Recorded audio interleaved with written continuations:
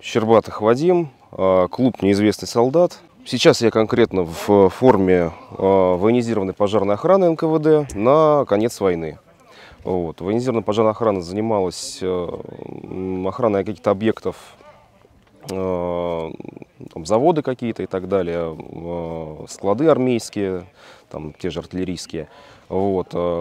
И поскольку они все были в ведении, скажем так, органов, а, поэтому и охрана пожарная была своя. Вот. Городская пожарная охрана она тоже входила в систему НКВД, вот, но она, понятное дело, приезжала просто на вот там жилой дом горит, приезжает гражданская пожарная охрана. Почему решили реконструировать именно это подразделение? Ну, потому что вообще военизированной пожарной охраной НКВД практически никто в России не занимается. Лично я знаю ну, двух человек, которые пошили себе полные комплекты. Из них э, всего один пошил себе комплект на довоенную пожарную охрану. Там она очень сильно отличается форма. Вот. Ну, плюс это достаточно необычное это подразделение. Форму такую особо нигде не увидишь, погоны тем более. Там те же фуражки у них другие были. А в чем вот. особенность фуражки? Можно? Да, пожалуйста. Сейчас, секунду. У них своя кокарда. Uh, у них козырек защитного цвета, uh, защитного цвета ремешок, плюс uh, кант малиновый, как ощущение, что это что-то с гражданской войны, знаете, вот, как будто бы там тоже такие смоли... Можно же, да? Конечно. С малиновыми кантами. А найти такую фуражку вот в оригинале реально нет? Оригинальная форма изредка попадается на аукционах. Стоит она, ну, как крыло от самолета. Серьезно? Серьезно. Вообще оригинальная форма достаточно дорогая вещь. Вот, потому что там э, цены доходят действительно, ну, какие-то заоблачные бывают. Реконструировать пожарную охрану и общевойсковые части, вот э, если ну, по цене сопоставлять это, это как?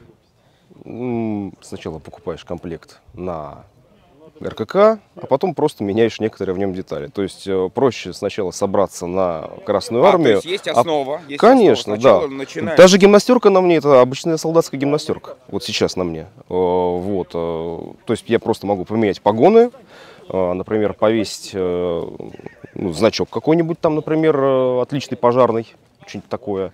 Вот взять эту фуражку, совершенно другую, и, в принципе, все, ты готовый пожарник. А в чем мотивация? Выделиться из толпы реконструкторов? А, это тоже. А, плюс тут еще такой момент.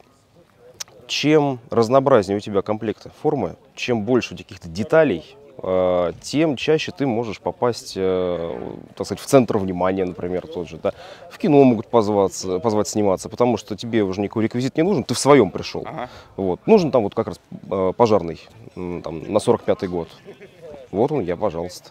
Ага. Вот. Плюс э, пожарная охрана привлекает внимание еще чем ты в какой-то непонятной форме, у тебя какая-то непонятная звездочка на фуражке, на ней какие-то непонятные символы, у тебя какие-то непонятные погоны. А ты кто? Ну это, подожди, это актуально вот в комьюнити реконструкторов, да? Это когда на, на тусовках, а для обочных людей это все одно и то же. Ну вот сейчас ну, будет реконструкция, деле, вот вы на там самом деле бегать, нет. Э, нет, пожарным я сегодня бегать не буду. Ага.